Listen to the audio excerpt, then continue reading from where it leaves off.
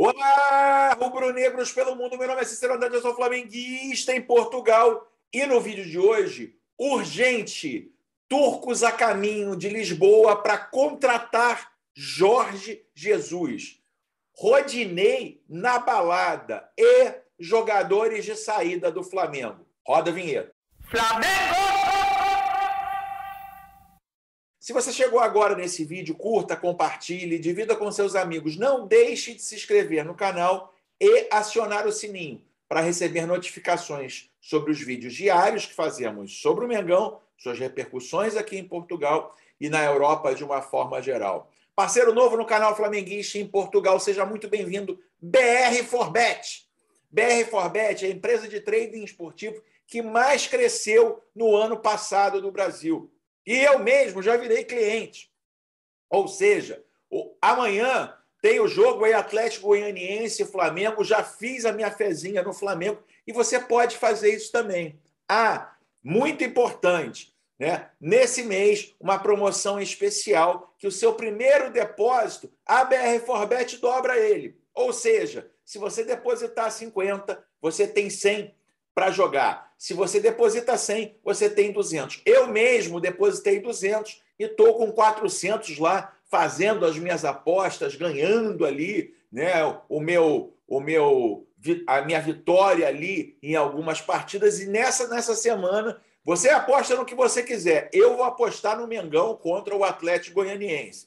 Né? BR Forbet. Link no, é, fixado aqui no primeiro, no, no primeiro comentário desse vídeo e aqui no QR Code aqui acima. Vamos lá, pessoal, muita coisa para falar aqui com vocês. Infelizmente, é, já tem corrido aí nos grupos do Twitter. Aliás, se você não me segue no Twitter, me segue lá. Vamos lá, pessoal, muita coisa para conversar com vocês e uma notícia triste. Triste para nós, torcedores do Flamengo.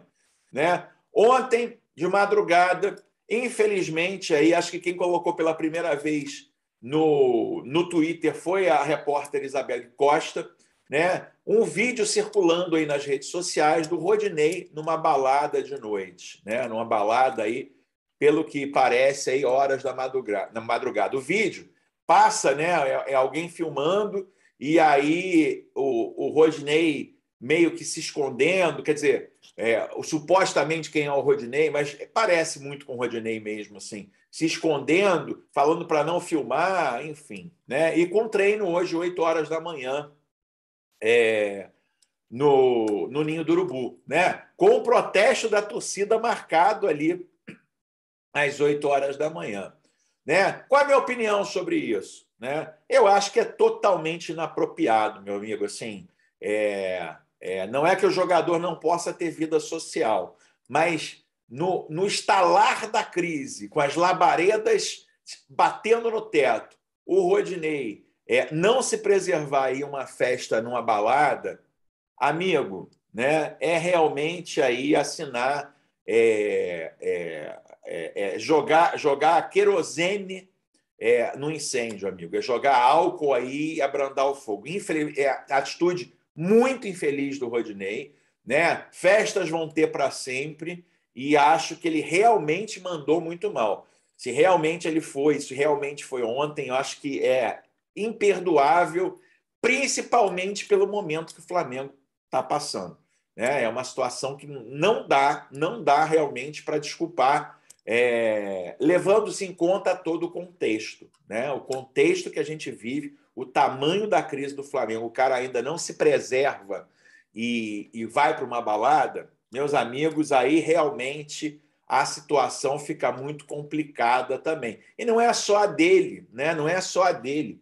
O grupo todo está sendo questionado. O cara vai lá e faz uma coisa dessa, de fato, é, o Rodinei, se fez isso, está repetindo fora de campo o que ele faz em campo. Vai muito bem, mas dá sempre uma escorregada. Lamento muito, lamento muito mesmo que ele tenha feito isso, porque isso pode ser o estopim aí de uma revolta maior ainda da torcida e com razão, né? Falando em jogadores que estão para sair do Flamengo, ontem, uma enxurrada de notícias. O William Arão para o Edenilson, até trouxe isso num vídeo mais cedo.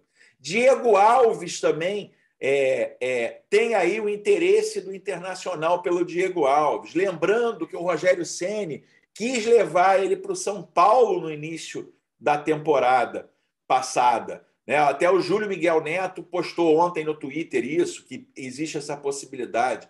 Dizem que o Rogério Ceni está atrás do Diego também, Diego Ribas. São Paulo, a torcida do São Paulo já demonstra uma certa rejeição, mas parece que o Rogério Ceni quer bancar isso e quer levar o Diego para o São Paulo. Engraçado, né? É, e é só para reflexão, os teoricamente líderes do motim, do motim que derrubaram todos os treinadores, inclusive o Rogério Ceni, o Rogério Ceni quer levar para o São Paulo. Será que o Rogério Ceni quer levar eles para o São Paulo para derrubar ele no São Paulo também? É, Diego Alves, é, Arão, né, que ele já tentou, e Diego Ribas. De alguma forma, estranho isso, São Paulo está fazendo essa sondagem aí por um jogador que, teoricamente, a grande maioria acredita que foram o estopim da derrubada do Rogério Senna no Flamengo. E aí, galera, eu queria trazer a notícia mais bombástica para vocês agora. Né? O que, que acontece?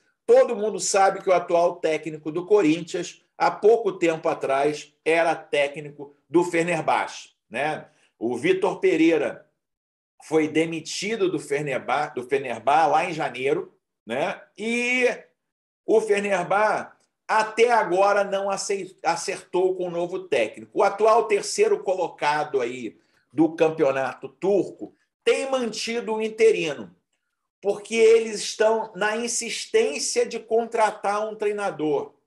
Eles não fizeram alternativa, ah, esse aqui não está me dando a resposta, eu mesmo no meio do campeonato eu vou procurar outro. Não, eles estão agindo de forma profissional e estão tentando aí até o último minuto contratar o treinador que eles querem. E esse treinador é Jorge Jesus. Né? Hoje, hoje, o jornal A Bola lança a seguinte matéria: Turcos em Lisboa para convencer, convencer Jorge Jesus.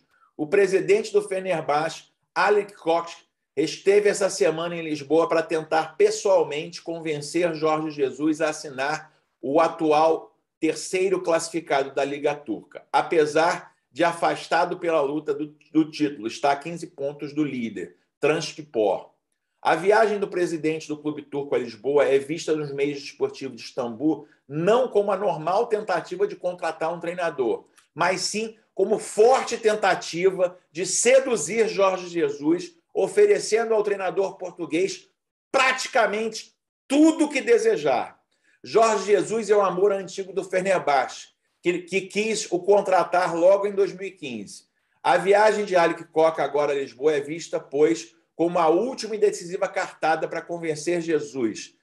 Mas, segundo foi possível apurar, o treinador mantém a ideia de apenas decidir o seu futuro em maio. Ou seja, galera, ou seja, né, o Fenerbahçe não desistirá de Jorge Jesus.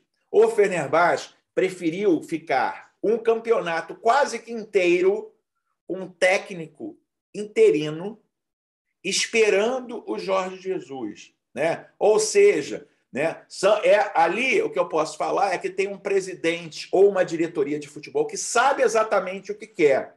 Né? O meu elogio também ao João Textor do Botafogo, né? Passou o Campeonato Carioca todo sem treinador, esperando o treinador que realmente queria. Fez de tudo, né? Até conseguir o Luiz Castro como treinador. Essas equipes têm mentalidade profissional, sabem a realidade do futebol e sabem que o treinador é a peça mais importante num quebra-cabeça.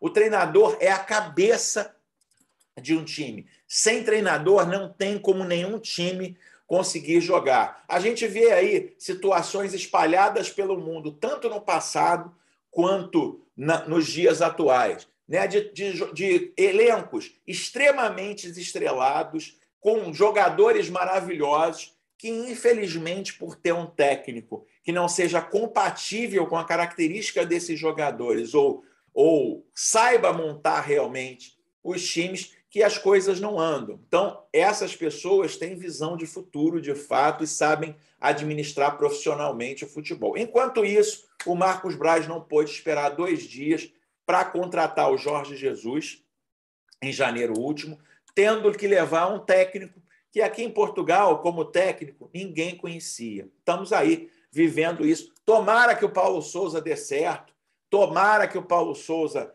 consiga aí flexibilizar a sua mente é, é, é, teimosa e consiga colocar o Flamengo para jogar Flamengo para a gente voltar a conquistar títulos. Enquanto isso, Jorge Jesus fortemente assediado aqui, não sou eu que estou falando, o próprio jornal A Bola está dizendo isso com força, que os caras vão tentar de tudo para levar Jorge Jesus para o Fenerbahçe. Né? Então, é assim, é foco, determinação, força de vontade. Né? E, de novo, estão dispostos a oferecer tudo pelo treinador. Né? O treinador, como vocês sabem, vai para o Rio para uma homenagem. Né? É, muita gente influenciando aí as pessoas para levantar hashtag fechado com Paulo Souza.